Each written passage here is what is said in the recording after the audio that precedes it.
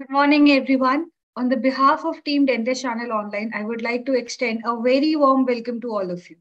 I am Dr. Aditi Mishra, and I'll be the host for today's session on the topic maxillary sinus lift procedures an overview of current techniques by Dr. Aishwarya. So before starting with the session, I have few housekeeping notes to make. If you have any doubts during the session, you can put your questions in the question and answer box, and we'll be taking up questions at the end of the session. If you have joined us from Facebook and YouTube Live, you can ask us questions by commenting, and each and every question will be answered at the end of the session. So without further ado, I would like to introduce our today's speaker to everyone. Dr. Aishwarya has completed her BDS from VYWS Dental College and Hospital, Amravati, Maharashtra. She has completed her MDS in oral and maxillofacial surgery from SDKS Dental College and Hospital, Nagpur, Maharashtra. She has a special interest in oral implantology, hard and soft tissue augmentation, extraction socket preservation. She is the course director and founder of Clinical Implant Excellence Academy, India. She recently won an award as Young Implantologist of the Year 2020, conferred by Global Outreach Healthcare Award 2020. Her academy has also won an award New Practice of the Year 2020 by Indian Professional Awards 2020. Her academy has also won an award Best Startup Dentistry by International Award of Excellence and Dent Asia Dental Award 2020 London. She has been recently nominated in Global Outreach Healthcare and Medical Association, India's top 100 doctors in dentistry for year 2020. She has been nominated and elected in class of 2022 interdisciplinary cohort World Top 100 Doctors by Global Summit. She has been the guest speaker at World First Virtual Dental Implant Expo 2020, guest speaker at CHESA Dent Academy, New Delhi, guest speaker at Dentoscope Academy, New Mumbai, uh, guest speaker at webinar on oral health and dental care conference, Dubai, UAE, guest speaker at World Second World Implant Expo 2020, 2021. Her academy has conducted many virtual webinars on various aspects of implantology with national and international speakers around the world. She has been the speaker with International Global Summit and with Dr. Ruth Daly Carpini from Italy, where she discussed on importance of extraction socket preservation in implant therapy. Welcome, Dr. Aishwarya. Thank you so much for such a nice introduction. So uh, we will start our session.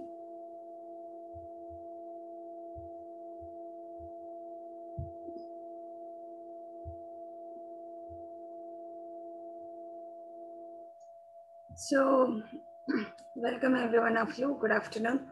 I'm Dr. Aishwarya Kadu and I'm the Associate Professor in SDK Dental College and Hospital, Nagpur and I'm also the course director and the founder of Clinical Implant Excellence Academy.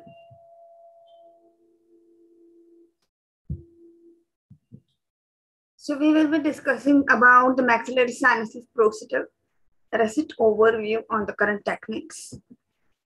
So we will first comes to the anatomy of maxillary sinus. So we all know that maxillary sinus is the pyramidal shape and is the largest of paranasal sinuses. So it has an anterior wall, posterior wall, medial wall, lateral wall, as well as superior and inferior. So we are going to discuss about the each walls in a very uh, elevated way. So the anterior wall is formed by the fascial surface of maxilla and is internally grooved by the canalis sinuosus, that is called as the canine fossa, which house the anterior superior alveolar nerves and the vessel. The landmark for the anterior wall of maxillary sinus is the thin canine fossa, infraorbital foramen located in the mid-superior region and the infraorbital groove. Then coming to the posterior wall, it is formed by the infratemporal surface of maxilla and it forms the anterior border of the pterygopalatine fossa.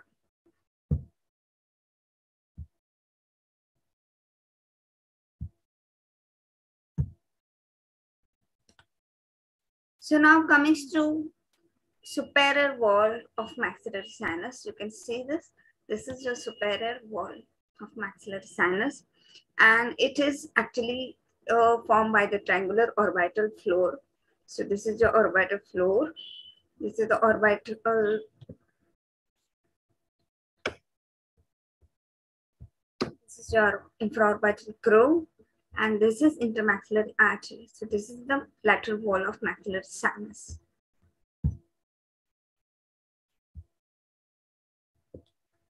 So now coming to the medial wall of maxillary sinus, it separates the sinus from the nasal cavity. It is very smooth on the sinus side and carries the inferior nasal conchae on the nasal side. The medial wall is rectangular shape and is slightly deficient at its opening, which is called as the maxillary hiatus or hiatus semilunaris. The opening is partially closed in an articulated skull by the section of inferior turbinate, uncinate process, perpendicular plate of palatine bone, lacrimal bone, and overlying mucosa that forms the ostium. So here we will see about this is the inferior nasal concha. Okay, this is the opening of maxillary si sinus. This below the concha is called as the inferior nasal meatus. And then this side is called as the hiatus semilunaris. And this bulging is called as the ethmoidal bulla.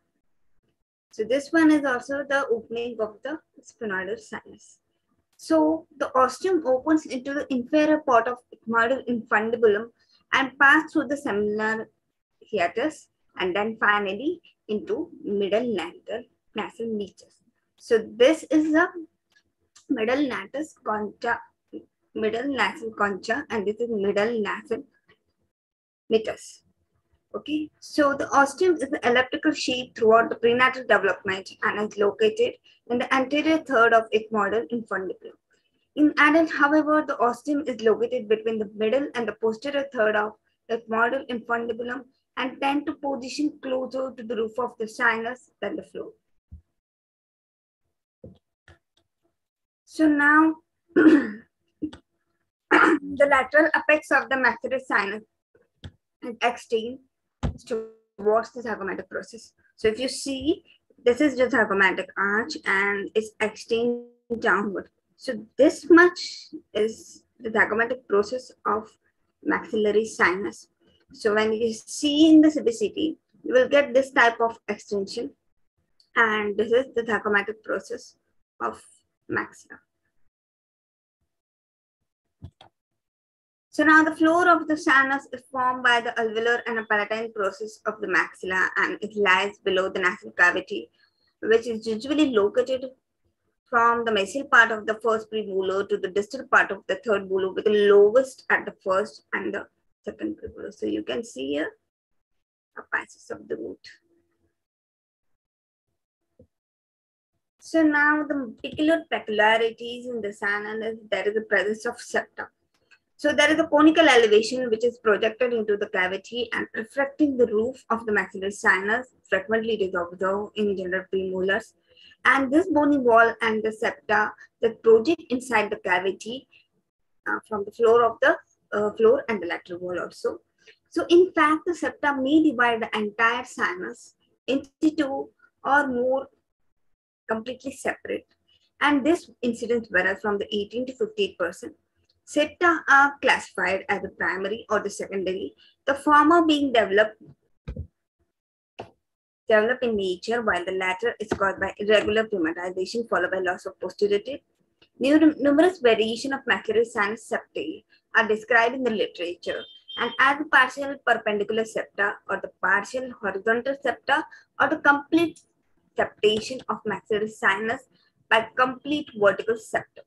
So you can see this is your lateral wall and this is the floor of the maxillary sinus. So you can get the septa in the lateral wall also or you can get the septa which completely divide your maxillary sinus into two. So now this is a certain uh, variation uh, proposed. So the first one is called the multiple septae. Second is the single septa. That is two basal septa, third one. And the fourth one is the complete septa, which divided. And the fifth one is the partial horizontal septa, which you mostly get from the lateral wall of uh, sinus. So now coming to the Schneiderian membrane, what do you understand by Schneiderian membrane? It is the sinus membrane and it is the thin bilaminar mucoperiosteal membrane that lines the maxillary sinus. It is a thin layer of pseudo-stratified columnar epithelium and is the most important barrier for protection and the defense of the sinus cavity. The physiologic importance of this membrane is its cilia, which guides you for the mucus uh, discharge and the debris through the ostium and it helps for the normal functioning and is properly meeting the sinus drainage. So here, this is the pseudocolumnar epithelium. This is the basement membrane and this is mucus gland inside. This is actually the lamina propria. So the membrane can be 0.8 mm thin and the sinus mucosa is actually very less vascular and thinner than even the nasal mucosa. The elevation of the membrane is very delicate procedure, so its maintenance of its integrity is very much important. So now coming to the vascular supply of maxillary sinus, it is primarily its vascular supply is derived from the branches of the maxillary artery, basically the posterior superior alveolar artery, infraorbital artery, and posterior lateral nasal artery. The posterior superior alveolar artery can course along the medial wall of the sinus.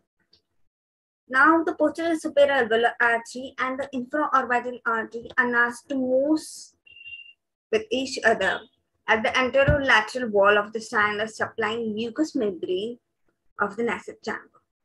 So the posterior lateral nasal artery branches from the sphenopalatine artery. This is also another artery which supplies the maxillary sinus which is branch of pilopalatine artery and passes through the pilopalatine foramen to enter the nasal cavity, which I shown you in my last time that is the nerve which passes through the foramen. So along with that is part the posterior lateral nasal artery. So now uh, I said got the posterior superior artery and the infraorbital artery anastomose at the anterolateral wall of the sinus. So that anastomosis is called as alveolar antral artery, AAA, which is alveolar antral artery, and is the anastomosis of posterior superior alveolar artery and the infraorbital artery. It has a curvilinear pattern and roughly paralleling the sinus flow with the lowest position at the second premolar and the first molar area, which are the most common side, which is needing for augmentation. so you see this? anastomosis. This is the posterior superior artery and this is the maxillary artery and this is the infraorbital uh, um, artery. So the anastomosis is called as the alveolar antral artery. So now this is very important artery and the distance of alveolar antral artery from the alveolar ridge varies greatly and may depend whether on the edentulous patient uh, from age and gender, there is a lot of variation. So the shortest distance from the alveolar crest and the um, alveolar antral artery occurs at the first and the second premolar, which range around uh, 15 to 25 mm of alveolar bone height in the dentate region. So it is recommended that to preserve this alveolar antral artery, the minimum 8 mm of bone you should create your bony window below 8 mm from this artery to preserve this vessel. So you can see this in the radiograph. See this? This is the alveolar antral artery. So now again, there is a very uh, difficult to detect in the CBCT, which is called as cone beam computed tomography. So there are uh, three types of uh, artery which you can find it. Either you can find it intra, which is called as intra-bony, or you can find it intraosseous, or you can go, or you can find it in the extraosseous region. So you have to be very peculiar when you uh, study your CBCT, and you have to check where you can find your alveolar antral artery. So now uh, we will also discuss about the contour of your floor of your maxillary sinus. So there is a certain classification of maxillary sinus contour, and it is very important in terms of sinus floor elevation surgery. So you can see this the various types of contour. So A is a narrow tapered, B is a tapered, Uh, C is a totally ovoid, and D is the square. So again, E is the irregular one. So in the irregular one, you can also have the subtypes, which is E1, where the tooth root protrude into the sinus floor. There is the irregular sinus floor. And E3 is, that is the presence of septum.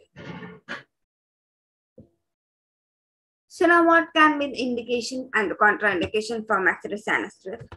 For that, to proceed ahead, you have to do the very careful and appropriate selection of the patient should be based on the well-defined clinical indication and it's critical for the long-term success of sinus floor elevation.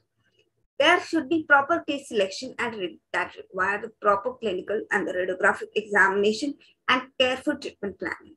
The primary indication for sinus grafting surgery is to plan implant in the edentulous patient where the interarch distance is less. So now what can be the risk factor which is associated with maxillary sinus lifting procedure? There are two risk factors can be high or the moderate.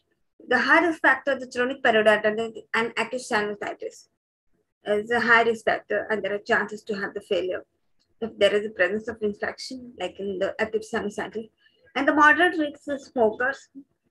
Actually, why it's so important? Because the smokers doesn't heal your graft. You have to place your graft inside the maxillary sinus. So if the patient is a truly smoker, it delay its healing. So if the patient is a chronic smoker, you have to tell your patient to avoid smoking for at least 15 to 20 days post surgery. If there is any abnormality in the sinus membrane, for in case hypertrophy, for in case um, uh, presence of polyp inside the sinus so the absolute contraindication is irradiated patients or the patients who is taking the bisphosphonates.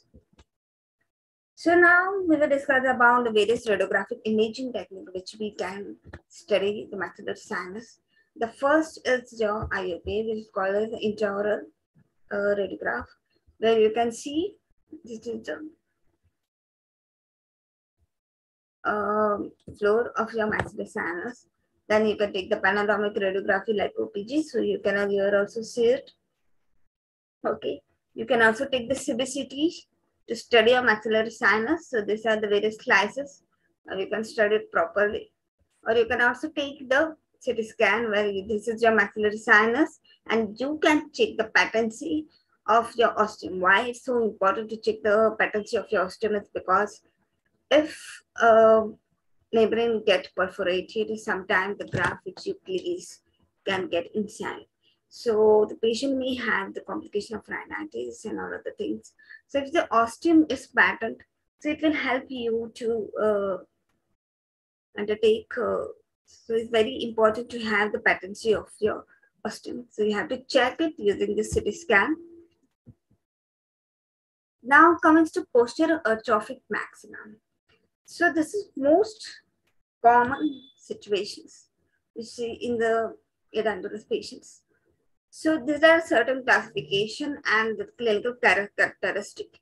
And based on that, you can go ahead with the surgical approaches. So in the class, uh, in the group one, there is an insufficient subantral bone height, where there is adequate width in the alveolar ridge, and it is acceptable in both vertical and the horizontal height and it gives a better interarch relation. So in this case, you can proceed with sinus work, proceed with the bone substitute from arm, or you can go with alveolar uh, bone grafting with any intraoral donor sites. Then the group two, there is insufficient subantral bone height. There is inadequate width of the alveolar ridge, but there is the acceptable vertical interarch relationship. So in this case, you have to go with the horizontal ridge augmentation using autogenous block graft be combined with the bone substitute or a barrier membrane. Intraoral or extraoral donor site depend on your extent of your atrophy. So the group three, again, there is insufficient subantral bone height.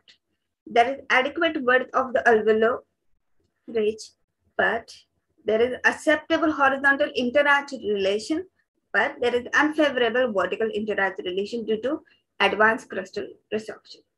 So what you do in this case is you will need the sinus floor elevation procedure as well as the vertical ridge augmentation using autogenous block graft. You may combine it with the bone substitute again and the paramembrane and your site depend intraoral or in the distant donor site. So in the um, group four, again, there is insufficient subantral bone height. There is unfavorable interarch relation due to advanced horizontal and the vertical resorption. So here you will require sinus floor elevation along with the horizontal and the vertical augmentation. So you can do that using um, autogenous block graft and using the bone substitute and the barrier membrane. So now what are the various types of maxillary sinus lift procedure? So it is divided into two types, the direct sinus lift procedure and the indirect one. So direct sinus lift procedure is also called as the lateral window technique. And indirect sinus strategy is also subdivided into various techniques. So the first is inflatable catheter technique or other name for the inflatable catheter technique is the balloon technique. Other is the summer osteotome technique, intralift techniques, and the hydraulic technique. So we are going to discuss in short the indirect sinus lift procedure first. Before that, we will discuss the guidelines for selecting the transcrestal. Is indirect. So transcrestal versus the lateral window technique. So it's based on your subantral bone height. So as per international team of uh, implantology, it says that if the sinus floor is there there is a horizontal augmentation is required and the subantral bone height is greater than 6 mm, so you can go with the transcrestal miss indirect process. But if it's less than 6 mm, then you can go with the lateral window. Then if the sinus floor is oblique or the vertical, there is a deficiency, then you can go both with the, in both the cases, you have to go with the lateral window technique. So now the guidelines for selecting the stage approach versus the simultaneous approach for the lateral vertebra. What do you understand by the stage approach and the simultaneous approach? Stage approach means, as you know, that we are going forward with the sinus elevation procedure for placing an implant, where there is very less residual bone height. So the stage approach means I'm doing it in the two-stage surgery. My first surgery will be the sinus floor elevation, and my second surgery, I will do it after six months because the bone is properly formed and then place my implant. Simultaneous approach means I am doing the sinus floor elevation. Simultaneously, I'm placing an implant. So this is the two approaches, and you have to properly plan whether I have to go with the stage approach or I have to go with the simultaneous approach. So the lateral window technique for the stage approach, you should decide if the subantral bone height is less than 5 mm. So here you require the maximum uh, elevation as well as maximum bone height. So in this case, without raising, you can go with the stage approach. And if it is greater than 5 mm, then you can decide to do the simultaneous approach. So now what are the various instrumentation of the maxillary uh, sinus procedure? So for the instrumentation of lateral window technique, you require the round carbide burr, the direct sinus lift instruments to elevate the membrane. You get it such kit. There are instruments readily available for the direct sinus lift and it is used to elevate your membrane. And then the surgical instrument to compress your grafting material. So you need the uh, bone grafting kits to, it also has, in that kit, it has the a bone carrier, it has a bone injector, it has a bone condenser. Condenser or it's called as a compactor, which compacts your graft properly.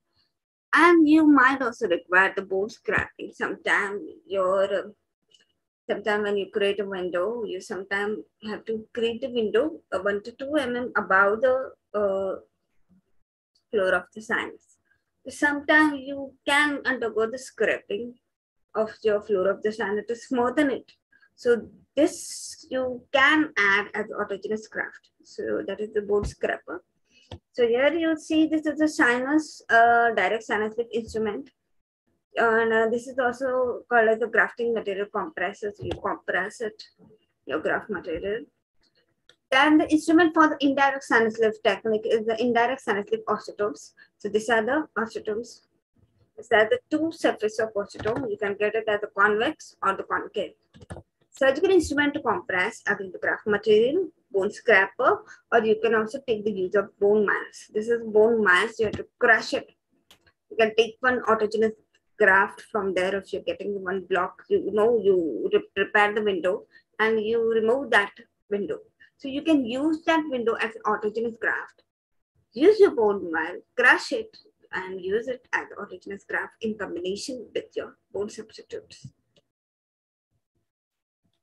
So now we are discuss about indirect sinus procedure.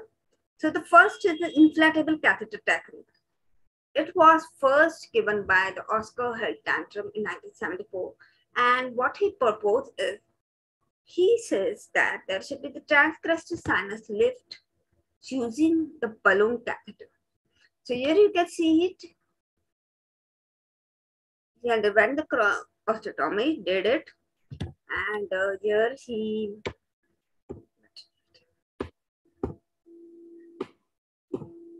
so here he uh, do the osteotomy, place the catheter inside and then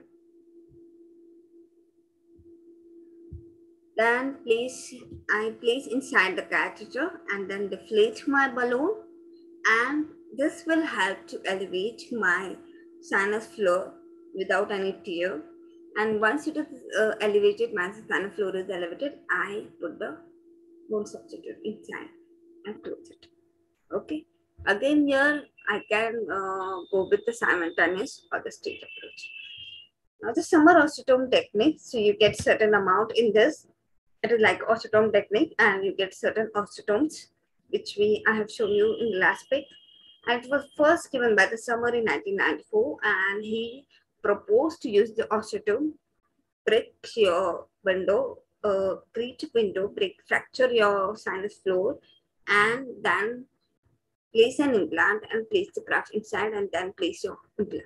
So this introduced the sinus lift technique with the use of osteotome to elevate the membrane and it was eliminated the hammering and make the technique more comfortable for the patient, which can be combined with the graft material along with the implant and is less traumatic one.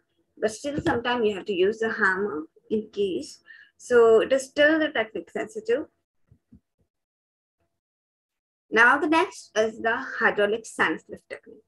So hydraulic means you're using some liquid to create the hydraulic pressure inside. So here in this method, the sinus membrane is lifting through the crestal approach and it's characterized by the hydraulic detachment of the mucosa through injection of liquid by spontaneous expulsion and aspiration. And at the same time simultaneously filling the substance space with the solid or the semi-solid grafting material.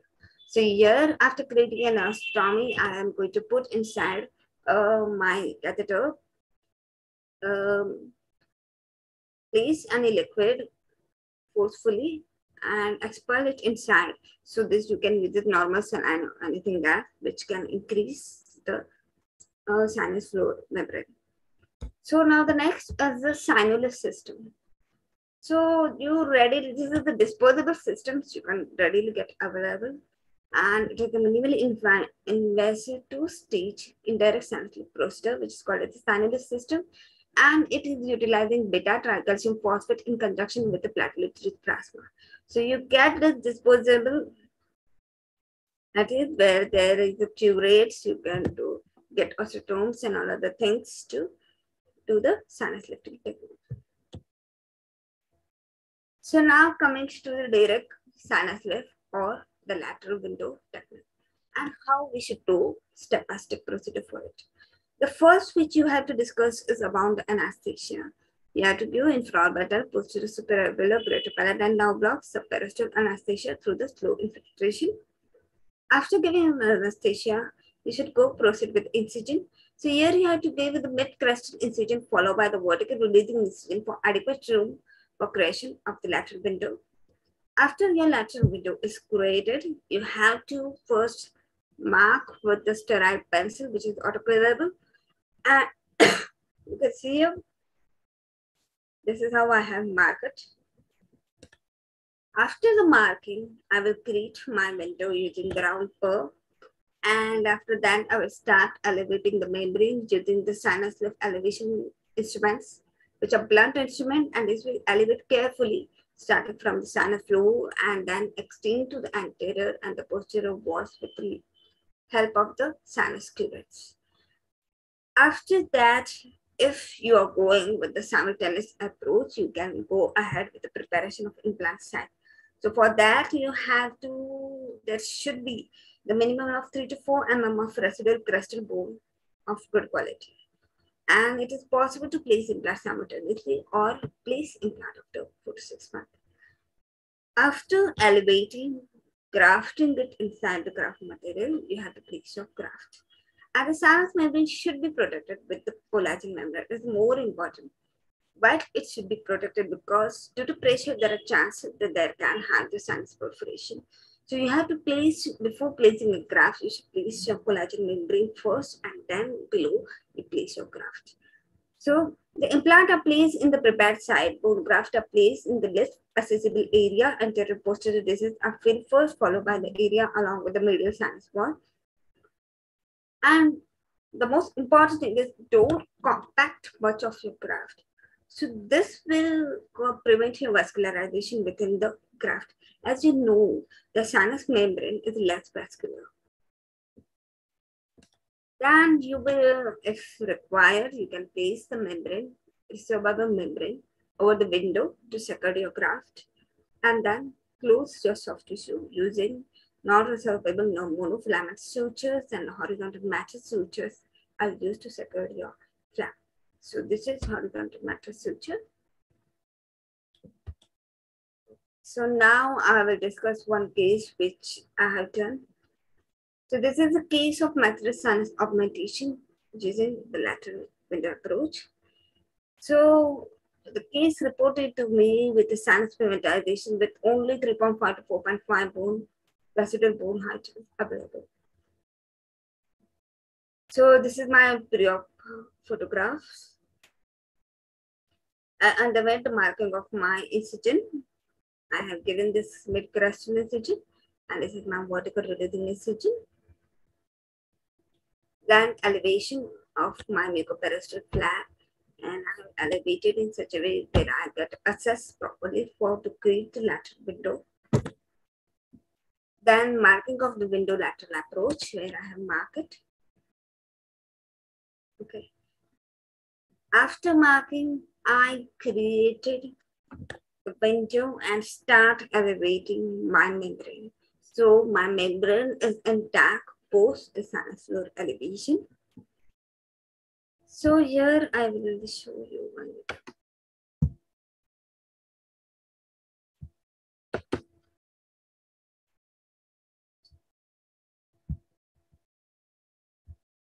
Uh, wait a minute.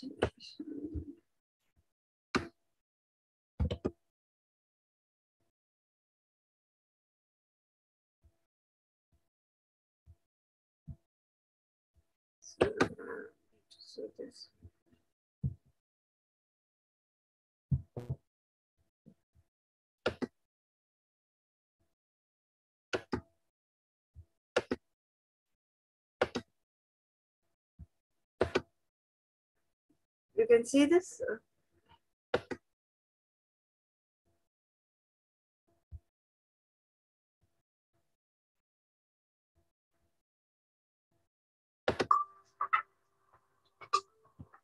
You can see here my membrane is In order to see whether your membrane is intact, for that you have to ask your patient to breathe.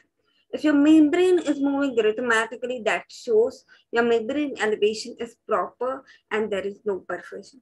If the rhythm of your sinus membrane uh, rhythm is irregular, then there are chances that there might be the sinus elevation.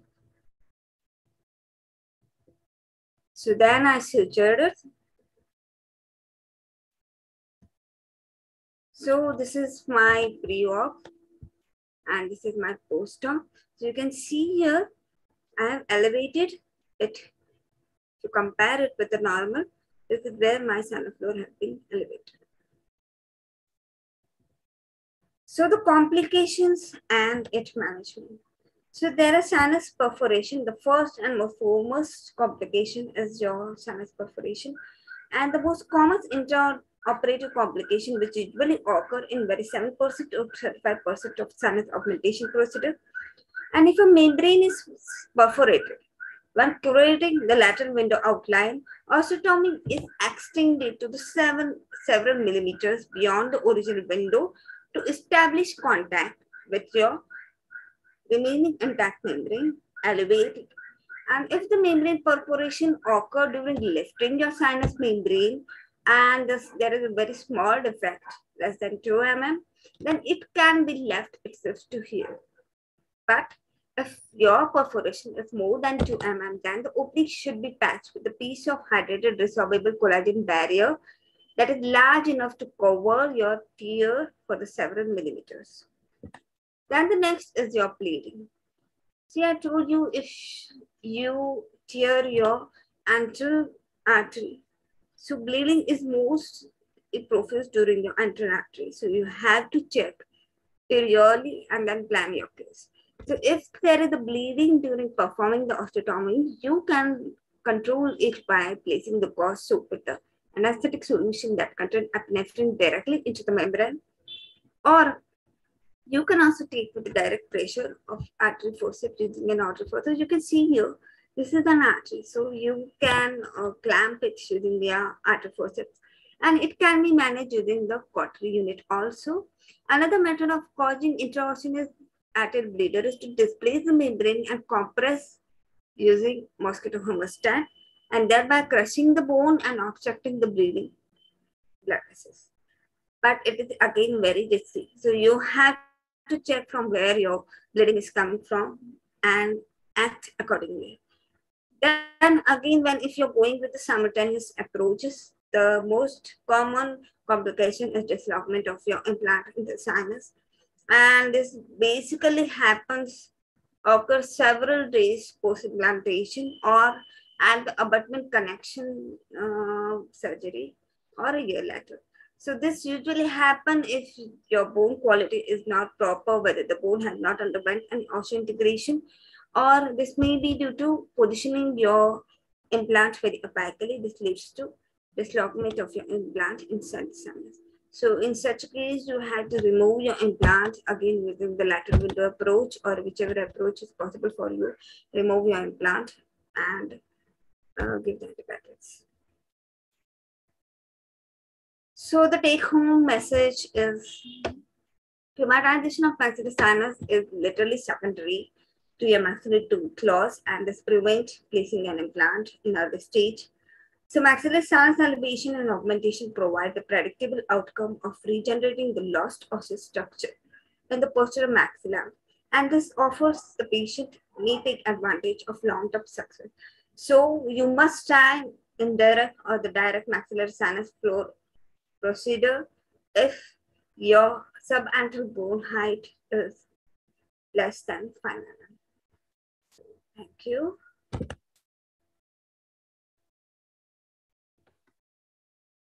Thank you so much, Doctor, for this amazing presentation. So I request uh, participants, if you have any doubts, you can put your questions in the question and answer box so that uh, we can proceed with the question and answer session. And uh, meanwhile, I'll just uh, introduce our uh, participants to our organization.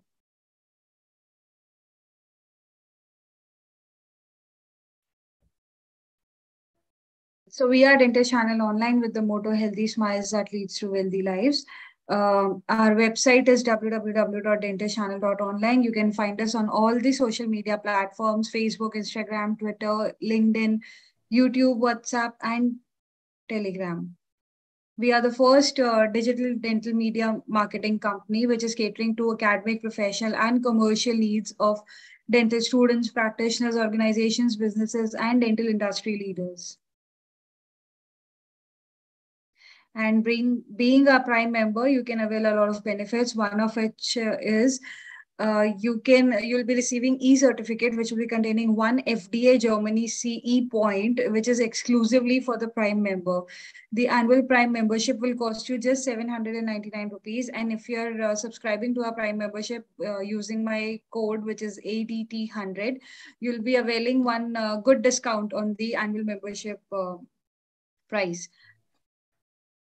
for all the latest updates, kindly save this number and uh, send your uh, name as a text message on this number so that you're added to our uh, broadcast list and uh, you'll be updated regarding each and every upcoming event that we have.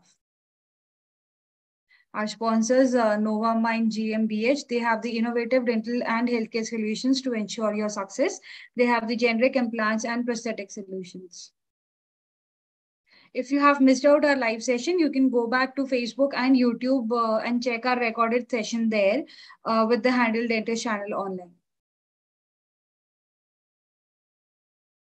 Let's quickly move to the question and answer session. Okay, so uh, Dr. First question is from Dr. Priyanka. She's asking uh, nowadays intra intrasinus implant placement also doing with rough surface like bioline implants. Is this effect on sinus in long term? Very good question. See, uh, the surface treatment of your implant system ideally matters a lot. There are two type of surface treatments which are done in the implant, that is the additive one and the subtractive. What you understand by additive one means the one which we are adding on the implant surface. And the subtractive one we are subtracting from the implant surface. So the surface treatment, if in the bioline implant, it has additive surface treatment, so it has the addition of hydroxyapatite coating. So it is actually good one.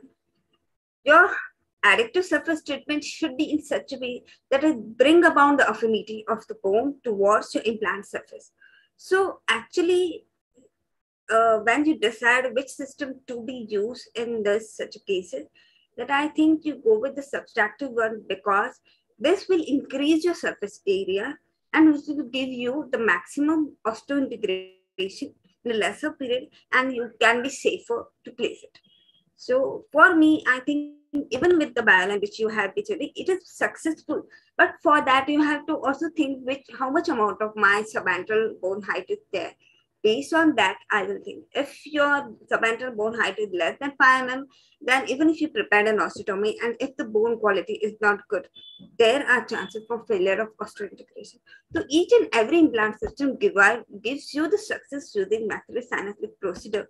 But for that, you have to properly plan your case and then go ahead with the system, your simultaneous approach or your stage approach actually most of them prefer the stage approach because it is very safer one. But i would suggest don't go with the stage approach all the time because the stage approach where you place your graft and after six months you call your patient back and then try to place an implant. Sometimes what happens your whichever you are placing the graft material that also depends. It's not necessary which type of graft uh, material you are placing autogenous or allograft or combination of allograft or xenograft so based on that, sometime when you uh, compact your graft very condensingly, so it decreases your vascularization also. So this will lead to less bone formation there. And there are chances to be get the failure.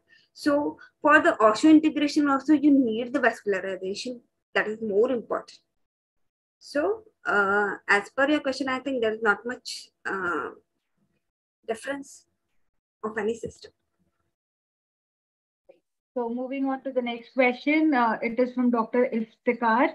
He's asking, uh, is this procedure advised in patients with chronic sinusitis? No.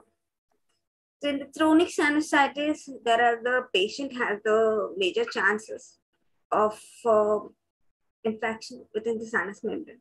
So for that, first you have to treat your chronic sinusitis first. Um, take the help of ENT, reduce the chronic sinusitis, and then place your implant. Because if you place in a patient with chronic sinusitis, there are chances that there will be infection within the sinus membrane and there will be the uh, infection within placing the implant also. So I will suggest don't go in the patient having the chronic sinusitis. Third question we have from Dr. Lakshmi. She's asking, do you place implant immediately with sinus augmentation or wait and reapproach after a few months? And if so, how long do you wait? Ideally, it's depend on the cases and depend on the patient preference also because most of the patient are very insecure of doing this procedure. So we have to tell the uh, patient all the procedure. The patient mostly prefer for the uh, stage process. But for me, I will prefer the simultaneous approach because what is there is I'm placing the graft. I can be short shot using my graft material. So I will suggest to go with the simultaneous approach because this will reduce the time of the surgery. No one will going to like you to have the two surgeries in within the period of uh, four to six months. And the, the question that he has is how long do you want to wait? So I will suggest you to wait, depend on your graft material. Likewise, I show in the case I use the allograft combined with the xenograft. So xenograft mm-hmm. has a maximum resorption rate. So I will prefer to wait six, the six months.